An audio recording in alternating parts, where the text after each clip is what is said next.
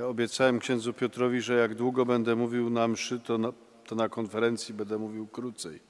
I teraz nie wiem, czy mówiłem długo na mszy. Co? Dobrze. To ja bym chciał z Wami przeczytać dwa teksty o przebaczeniu. Dwa teksty z Ewangelii. Yy, Obydwa są bardzo takie mocne i, i wymowne, ale ponieważ obydwa są z, z Pisma Świętego, to trzeba, żebyście wstali.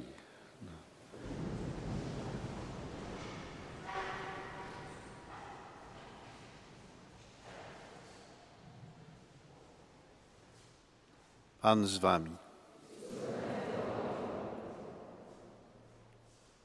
Słowa Ewangelii według świętego Jana.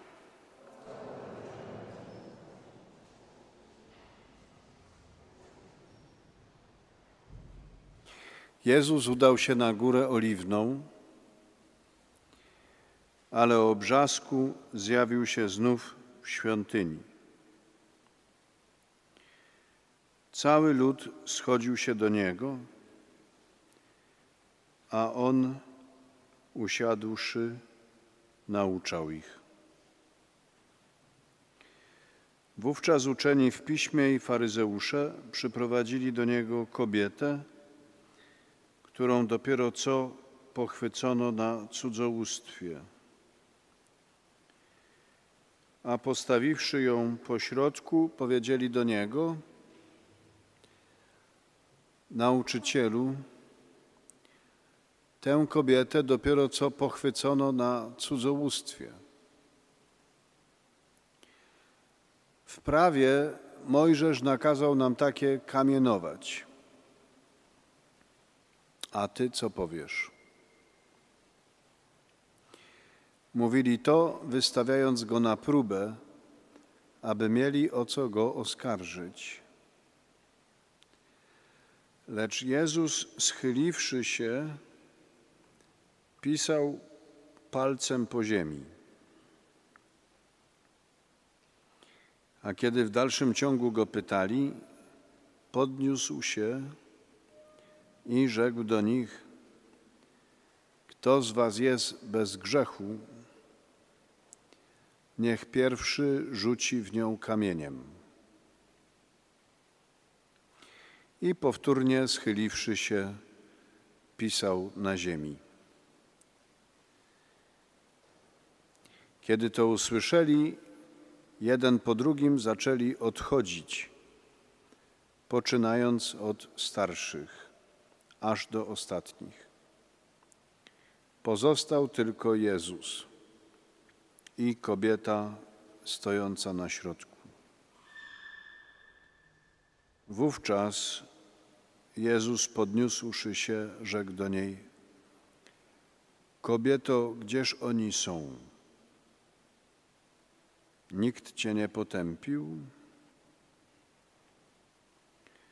A ona odrzekła: Nikt, Panie. Rzekł do niej Jezus: Ja Ciebie nie potępiam. Idź i odtąd już nie grzesz. Oto słowo Pańskie. Dobrze, siądźcie. Potem jeszcze wstaniecie na drugi tekst.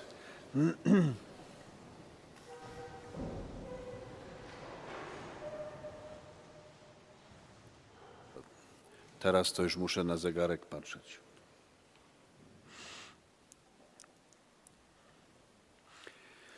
To jest jeden y, e, z najszczególniejszych tekstów w Nowym Testamencie. To jest jeden z takich tekstów, który przez dziesiątki lat był zgorszeniem dla chrześcijan. I to zgorszenie było takie, że w wielu starych rękopisach Nowego Testamentu tego tekstu nie ma.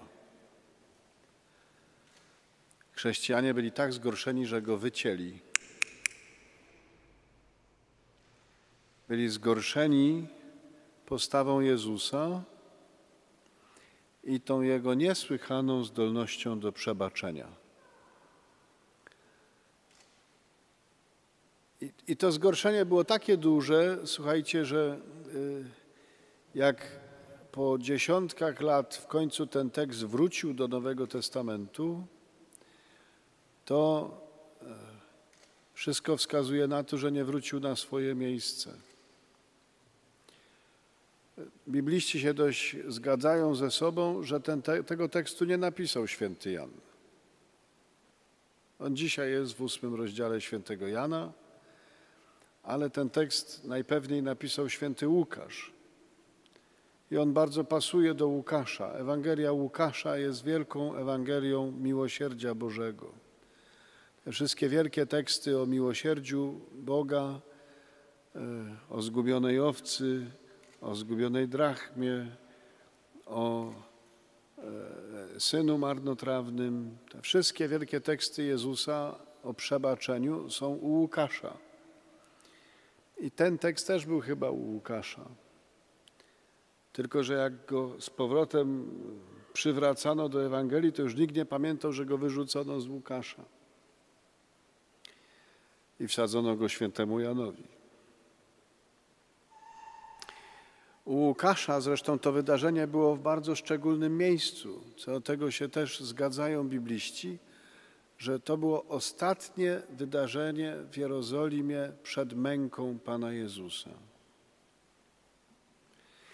Ostatnie wydarzenie przed męką. To też dodaje jakby,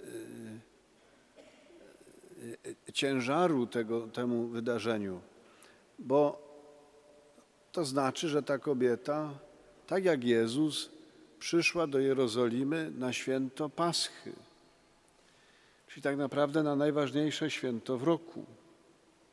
To dla nas to jest Wielkanoc przyszła na najważniejsze święto w roku do miasta świętego. Ta Pascha była świętem rodzinnym. Na Paschę powinna spożywać ze swoim mężem, ze swoją rodziną, a tymczasem, jak czytamy, dopuściła się cudzołóstwa. Więc y, z jednej strony sam grzech cudzołóstwa był bardzo ciężki i oceniany bardzo surowo. E, w prawie mojżeszowym cudzołóstwo było karane śmiercią. Ona powinna zostać ukamienowana. W prawie Mojżesz kazał nam takie kamienować. Oczywiście prawo mojżeszowe mówiło, że ukamienowani mają być oboje, bo do cudzołóstwa trzeba dwojga, nie? No, ale facet najwyraźniej uciekł. Niektórzy myślą, że, że miał szczęście.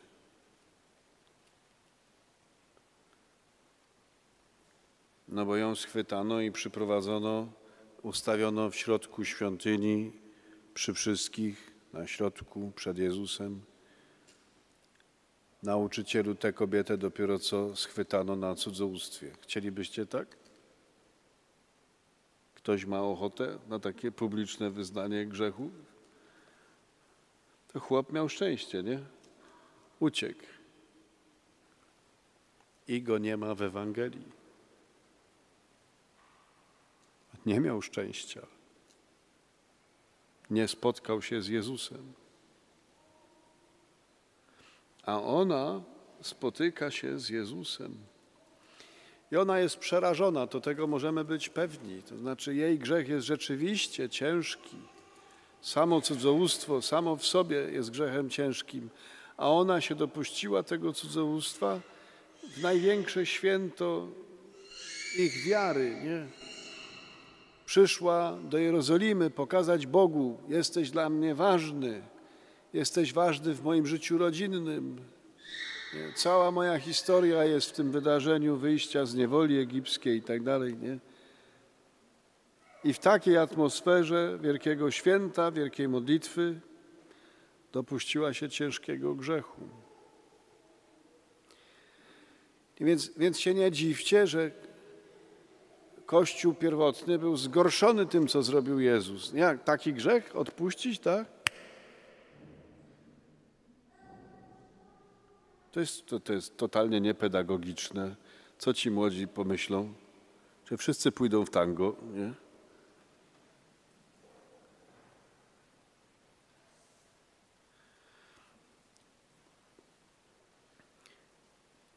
Starożytny Kościół, że przez, y, wiecie, dzisiaj jesteśmy przyzwyczajeni do tego, że, że kiedy chcecie, to idziecie do spowiedzi. Jak tylko księża mają ochotę, to siedzą w konfesjonale, nie? Mam nadzieję, że tak. W końcu jesteśmy w sanktuarium. No, tak. Ale w starożytności, w starożytnym kościele, gdzieś tak do IV wieku, zasada była, że po chrzcie możesz się, pokutę możesz odbyć w życiu zasadniczo raz. Raz. Jak ktoś po chrzcie wszedł w ciężki grzech, to ten starożytny kościół się z nim nie patyczkował, tylko do niego stosowano taki tekst z pierwszego listu świętego Piotra, że wrócił pies do tego, co zwymiotował, a świnia umyta wróciła do kałuży błota. Co? Chcielibyście tak o sobie słyszeć? Raz, pokuta raz. Ale nawet przy takiej praktyce, że możesz odbyć pokutę raz w życiu po chrzcie, i tak uważano, że, są trzy grzechy, za które, jeśli popełniłeś któryś z tych trzech grzechów, pokuta wynosi całe życie. Nie ma dla ciebie rozgrzeszenia. Masz pokutować całe życie i modlić się, żeby ci Pan posłał księdza, jak będziesz umierał. I te trzy grzechy to było zaparcie się wiary, zabójstwo i cudzołóstwo.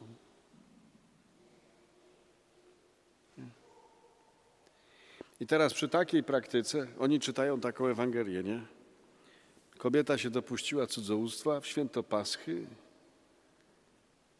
i Jezus mówi, ja Cię nie potępiam. To nie wzięli nożyczki, ciach, ciach, ciach, wy, wycięli to. To była taka Ewangelia, która we mnie bardzo mocno pracowała, jak y, szukałem tytułu dla książki mojej o miłosierdziu. I pewnie niektórzy wiecie, że ta książka ma tytuł Skandal miłosierdzia. Skandal, bo my jak widzimy takie wydarzenie, jesteśmy zgorszeni tym, co Jezus zrobił. To jest skandal, że On tak postępuje. My wszyscy jesteśmy tym zgorszeni. Bo zobaczcie, co On robi. Siedzi na ziemi i pisze. Właściwie 20 wieków się Kościół zastanawia, co on pisał. I, I, jest cała masa fajnych objaśnień, co mógł pisać. Nie? Święty Augustyn mówi, że w jednym ze swoich tłumaczeń, że Jezus pisał imiona kobiet. Jakich kobiet? Tych, z którymi zgrzeszyli oskarżyciele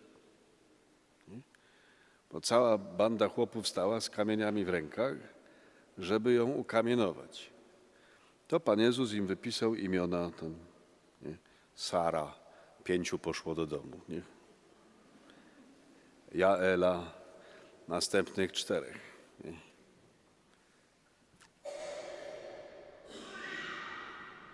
To jest jedno tłumaczenie. Ale ten sam święty Augustyn daje, i to jest chyba najpiękniejsze tłumaczenie, jakie ktokolwiek w dziejach dał do tego, do tego fragmentu Ewangelii. Jezus mówi, że, e, Augustyn mówi, że, że Pan Jezus pisał słowo cudzołóstwo. Pan Jezus pisał słowo cudzołóstwo. Po to, żeby ona zobaczyła, jaki jest jej grzech. Czyli Pan Jezus nie mówi, nic się nie stało, w ogóle nie ma sprawy. A tam takie tam. Nie. Pan Jezus pisze jej grzech nie? tak, żeby widziała.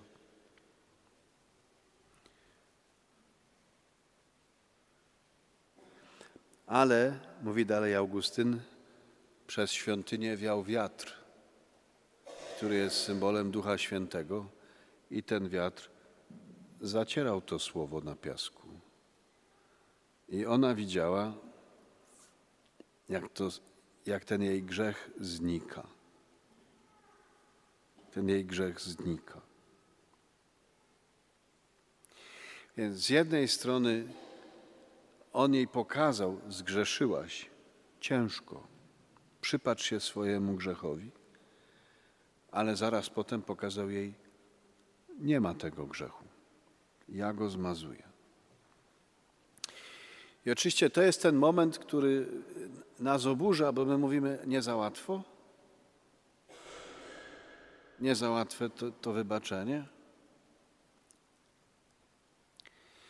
I, I to nasze pytanie, czy to nie jest za łatwo, pokazuje, że my kompletnie mamy przewrócone w głowie, bo nam się wydaje, że Bóg nam wybacza nasze grzechy dzięki temu, co my dobrego zrobimy. Natomiast Bóg wybacza nam grzechy, bo patrzy na krzyż swojego Syna. I to wybaczenie, którego dokonał Jezus, nie było łatwym wybaczeniem. Tylko wybaczenie naszych grzechów nie nas kosztuje, tylko Jezusa kosztuje. I kosztuje go życie. I dlatego właśnie to jest, y, jeśli mają rację ci, którzy mówią, że to było u Łukasza na moment przed śmiercią Jezusową, to naprawdę to było, to, to tak się to układa, że Jezus jej gładzi grzech, nie? mówi ja cię nie potępiam, wybacza i idzie na krzyż, żeby umrzeć za jej grzech. To nie jest tanie wybaczenie, to nie jest łatwe wybaczenie to jest wybaczenie za cenę śmierci. I teraz oczywiście do niej mówi: Ja cię nie potępiam, idź i więcej nie grzesz. To znaczy, w Jezusie jest głębokie przekonanie, że ona może nie grzeszyć. To znaczy, że ta miłość, której doświadcza w spotkaniu z Nim, ją zmieni. To ta miłość ostatecznie ją nawróci. Bo ona, kiedy stoi przed nim, to ona jeszcze nie ma w sobie pragnienia nawrócenia. Ona ma w sobie co najwyżej strach, że zaraz ją zabiją. Przywlekli ją do niego. Ona się po prostu boi, zaraz będę nieżywa. Natomiast nawraca ją doświadczenie miłości w spotkaniu z Nim. I jak, to jest ta sama myśl, która u świętego Łukasza jest w przypowieści o. E, my mówimy o synu marnotrawnym, to jest oczywiście bardzo zła nazwa, bo tam nie jest jeden syn marnotrawny, tylko dwóch, i ten drugi, którego wszyscy uważają za porządnego, jest tysiąc razy gorszy niż ten pierwszy. Ten, ten porządny to jest dopiero kawał drania. Nie? Oni mają tylko jedno szczęście, że mają fantastycznego ojca ale gdy chodzi o tych synów, to jeden jest wart drugiego. I, ale nie będziemy się teraz kłócić z tymi nazwami, tylko sobie przypomnijmy, tak? Jest marnotrawny syn, który odszedł daleko, przehulał majątek i teraz jest głodny, bo mu nikt nie daje nic do jedzenia. I on mówi tak, najemnicy mojego ojca mają jedzenia potąd, a ja tu ginę z głodu. Pójdę do ojca i powiem: Już nie jestem godzien być Twoim synem, ale uczyń mnie jednym z najemników. Rozumiecie, on wraca do domu, nie wierząc, że może odbudować relacje z ojcem. Nie, on jest przekonany, że tak narozrabiał, że tego odbudować się nie da. I on nie oczekuje od ojca, że ojciec go przyjmie jako syna. On sobie ułożył ten tekst, tak, że powie ojcu: Nie jestem godzien być Twoim synem, ale umówmy się na robotę. Ja będę dla Ciebie pracował, a Ty mi dasz jeść. Jak on wraca do domu, jest po prostu głodny i chce przeżyć. A nawraca go dopiero miłość ojca, bo ojciec go widzi tam z daleka i zachowuje się kompletnie niepoważnie, bo pewnie był już starszym człowiekiem, a biegnie do niego, rzuca mu się na szyję, całuje go, i te, a ten zaczyna ten swój tekścik, nie? Ojcze, nie jestem godzien. Ojciec mu przerywa, bo ojciec się z nim nie umówi na robotę.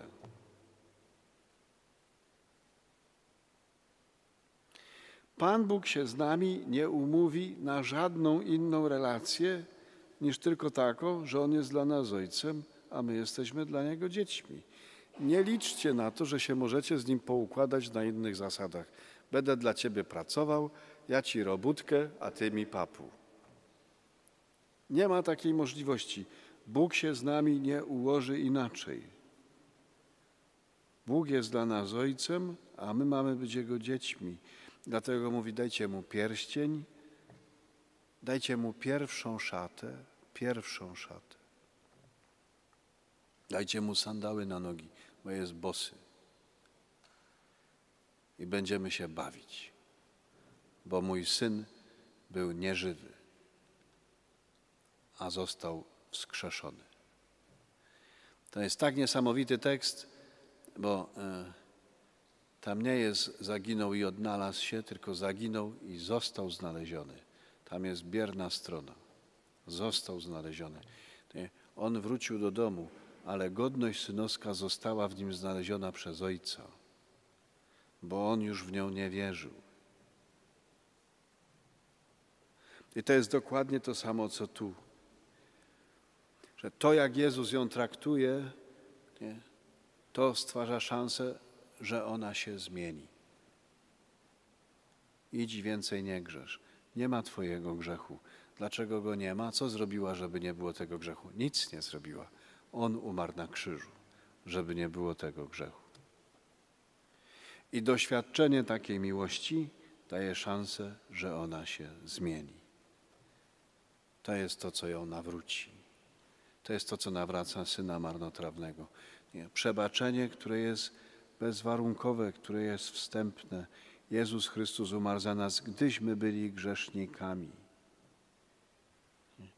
Nie gorszcie się tym, jak Bóg wybacza. Nie gorszcie się tym. To jest Jego metoda działania. Że Jego wybaczenie nas nawraca.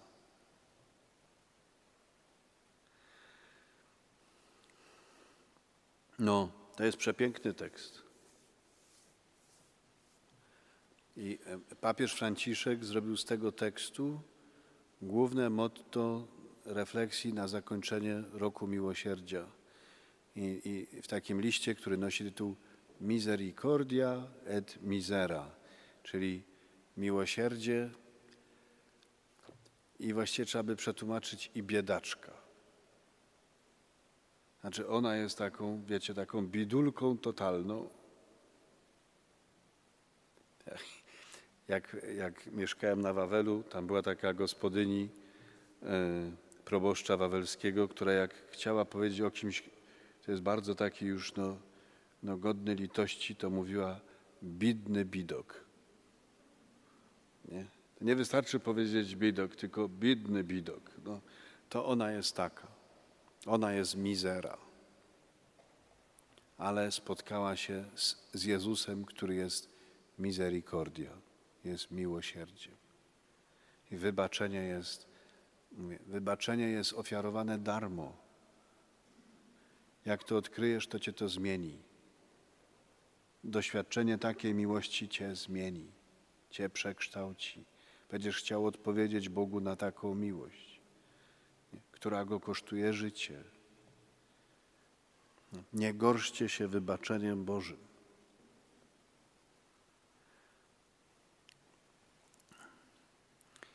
To jest jeden tekst. Macie jeszcze ochotę na drugi? Chwilka będzie, będzie krócej. To wstańcie.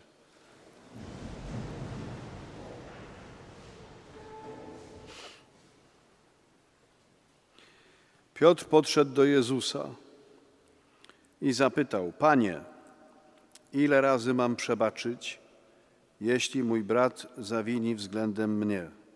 Czy aż siedem razy?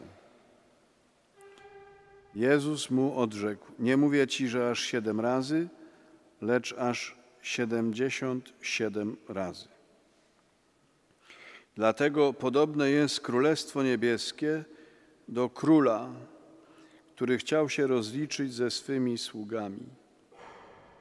Gdy zaczął się rozliczać, przyprowadzono mu jednego, który był mu winien dziesięć tysięcy talentów. Ponieważ nie miał z czego ich oddać, Pan kazał sprzedać go razem z żoną, dziećmi i całym jego mieniem, aby dług w ten sposób odzyskać. Wtedy sługa padł mu do, do stóp i prosił go: Panie, okaż mi cierpliwość, a wszystko ci oddam.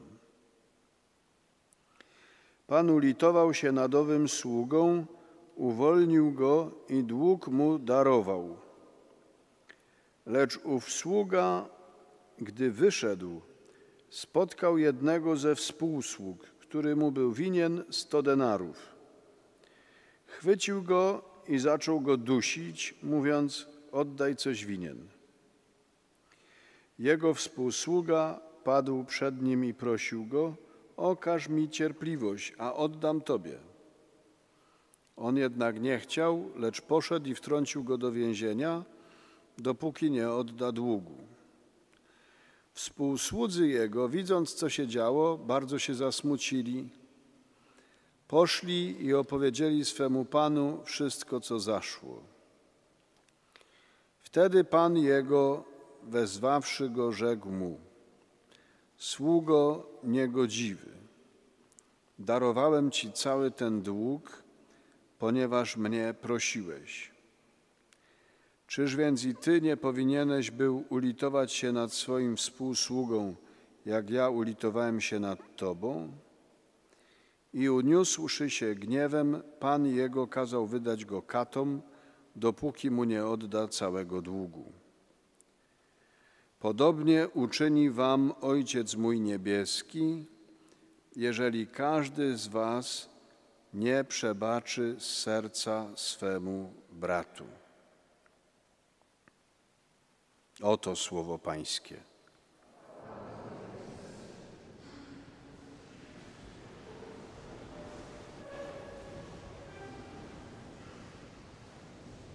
Tak, to jest osiemnasty rozdział Mateusza.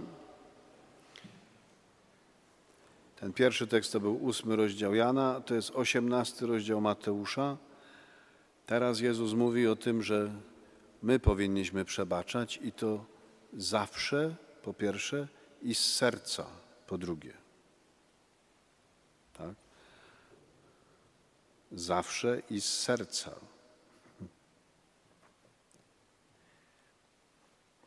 Dlaczego powinniśmy przebaczać zawsze i z serca? Odpowiedź jest dlatego, że Tobie przebaczono. Tobie przebaczono. To znaczy tak, my jesteśmy, każdy z nas jest tym pierwszym sługą, który klęka przed Panem i mówi: Okaż mi cierpliwość, a wszystko Ci oddam. Nie wierzył w to, co mówi. Choćby na rzęsach stawał, to by nie oddał. Był winien 10 tysięcy talentów. Talent, tu się różnie, tu się trochę różnią bibliści, padają różne y, miary, ale zwykle się mówi, że talent to było 27 kilo srebra albo złota. Ale niektórzy mówią, że 32 albo 35 kilo jeden talent. Jeśli on był winien 10 tysięcy talentów, to znaczy, że był winien 270 ton srebra albo złota.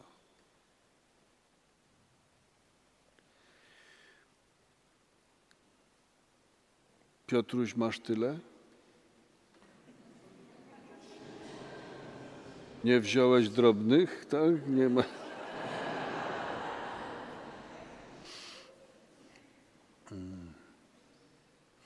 Nie, nasz problem polega na tym, że my nie wierzymy, że jesteśmy tyle dłużni Panu Bogu.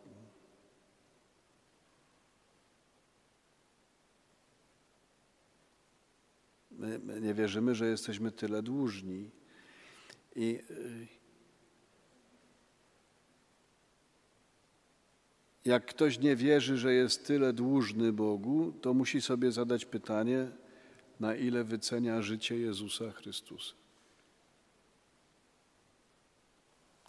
Bo przed chwilą żeśmy powiedzieli, że ceną za nasz grzech jest śmierć Jezusa. Na ile wyceniacie życie Jezusa? A jak ktoś nie chce odpowiedzieć, na ile wycenia życie Jezusa, to sobie zadajcie pytanie, na ile wyceniacie swoje. Ile kosztuje wasze życie? I, I, wtedy dopiero rozumiemy, co to jest grzech, bo nam się wydaje, że grzech to jest, y, grzech to jest przekroczenie jakiegoś tam prawa, przepisu. Bądźmy poważni, nie bagatelizujmy grzechu, nie, nie, nie sprowadzajmy go do, do przekroczenia jakiejś normy. Nie, grzech dzieje się w naszych relacjach z Bogiem. Grzech to jest zranienie osoby. Jezus umarł za nasze grzechy. Jezus stał się moim grzechem. Pismo mówi, karą za grzech jest śmierć. Ale nie ja umieram. Nie ja umieram, tylko Jezus bierze moją śmierć na siebie. Jestem mu winien 270 ton złota albo srebra. Właśnie cały, cała rzecz polega na tym, że nie mogę zapłacić za mój grzech. Nie. Nie mogę. On może. On może. Nie?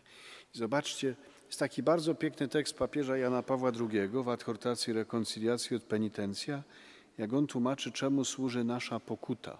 Pokuta za grzechy. Nie? Idziecie do konfesjonału, wyznajecie grzechy i słuchacie, jaka ma być pokuta. I papież mówi, jaki jest sens pokuty sakramentalnej. I, i, I, mądry ksiądz musi to pamiętać. To znaczy, nie może zadać takiej pokuty człowiekowi, żeby ktoś myślał, że tym, co robi, to płaci za grzechy. Nasza pokuta nie ma charakteru zapłaty za grzech. Ja nie płacę za swoje grzechy. Chrystus zapłacił za mój grzech. Ja nie jestem w stanie zapłacić.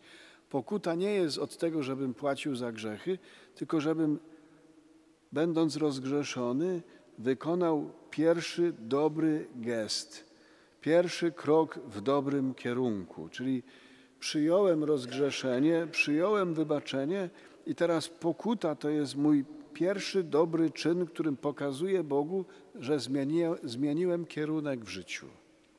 Że szedłem idiotycznie w złą stronę, ale teraz zatrzymałem się i idę w przeciwną stronę, idę w stronę Boga i robię właśnie pierwszy krok, i to jest pokuta. Więc ta pokuta, mówię, ona nie musi być wcale ciężka, ona musi być prawdziwa. Ona musi być prawdziwa.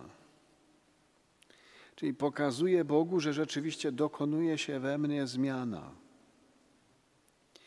I, i, I, dlatego w starożytnym kościele na przykład była zasada pokuta, to najlepiej wiecie, pokuta jest jak lekarstwo trochę. Przeciwne leczy się przez przeciwne. Jak grzeszyłeś gadulstwem, to weź sobie za pokutę milczenie. A jak grzeszyłeś tym, że urządziłeś komuś ciche dni, to weź sobie za pokutę, że się wreszcie do niego odezwiesz. I wtedy pokuta jest prawdziwa. A my byśmy woleli, że może by nam nie kazał ksiądz zadawać za pokutę, że mam się do kogoś odezwać, tylko niech mi każe zmówić cztery razy chwała Ojcu i Synowi Duchowi Świętemu. Tak? Pokuta nie musi być modlitwą za każdym razem. Natomiast powinna być takim gestem, takim czynem, który pokazuje, zmieniłem kierunek. Mocą tego rozgrzeszenia, mocą miłości, której doświadczyłem przed chwilą, zaczynam iść w drugim kierunku. Nie? Więc. Y My nie płacimy za grzechy. Nie mamy tyle.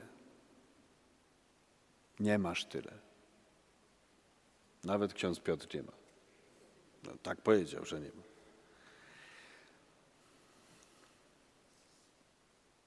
Facetowi darowali dług, wyszedł sprzed oblicza Pana i spotkał współsługę, który był mu winien 100 denarów, czyli mówiąc na skróty, trzymiesięczną pensję. Bo denar w czasach Jezusa to była dniówka. Jest przypowieść o robotnikach winnicy. Umawiali się z gospodarzem o denara za dzień. 100 denarów to jest 100 dniówek. No to niech będzie 4 miesiące, 3,5. Możecie sobie to wyobrazić? Może nawet ktoś ma przy sobie tyle, tak patrzę w kierunku kanclerza. To jest wyobrażalny dług. Mógłbyś darować. Mógłbyś darować. On nie chce. I teraz co to oznacza?